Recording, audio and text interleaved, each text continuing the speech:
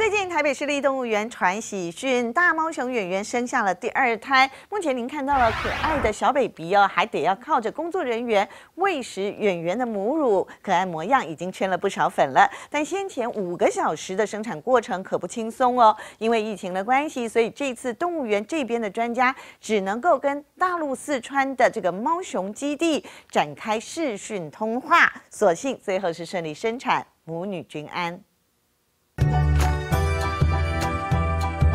时隔七年，圆圆终于怀了二胎。出生时，她比姐姐重三克。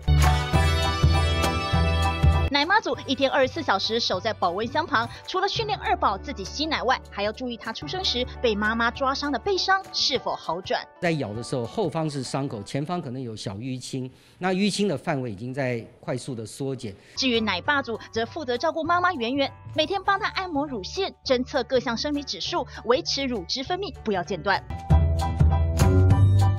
奶爸组每天像羔羊跪乳一样，一方面有同仁要用蜂蜜去吸引演员的注意，另外一方面的同仁要去摸索，因为它有五颗乳乳头，那五颗乳头里面呢，不能让它有呃乳腺结块。圆圆的初乳第一天呈现黄绿色，接着慢慢转成白色。六月二十八号，圆圆开始阵痛，不停变换的姿势显示分娩前的阵痛相当不舒服。有时候圆圆还会自己清洁产道，痛了五个小时，二宝终于出生。圆圆立刻转身叼起宝宝，二宝哭个不停，圆圆像人类一样抱着他，不停换位子。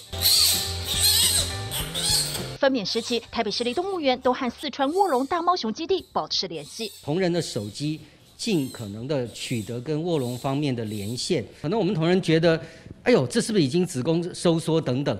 那对方可能就冷冷的说，嗯，可能还要再等一下。发现宝宝背部受伤后，兽医师决定暂时采取人工哺育。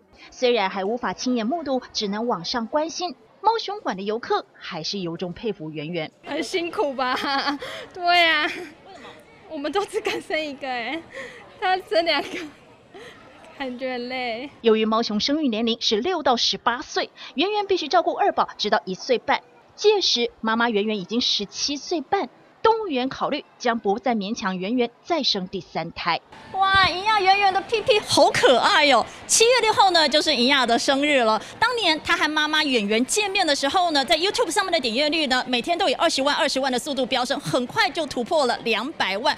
那时候呢，大家都说这简直是可爱到爆表，可以说是地表最疗愈系列之一。而如今呢，妈妈又生了第二胎，期望呢第二胎也能够头好壮壮，快速的跟大家见面，为这疫情期间。苦闷的人们带来希望和快乐。至于姐姐莹亚已经达生育年龄，动物园是否有安排相亲呢？凡是去开国际会议或者有机会把资讯传递出去的过程，都会呃把元仔已经六岁的这件事提醒给国际大猫熊专家群。但是国际间大猫熊专家群，它的研判有各种不同的考虑。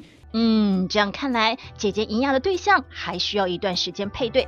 但不管如何，动物园努力了六年，终于让圆圆生了二胎，已经让不少国际猫熊专家们竖起大拇指称赞。T B B 新闻，玲珑市柯胜雄、陈相如台北报道。